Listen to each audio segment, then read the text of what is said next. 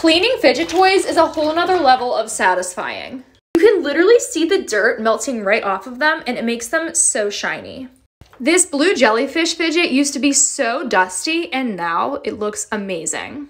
The little mochis especially tend to get the dirtiest and the hairiest, as you can see here. It's nothing a little soap and water can't fix.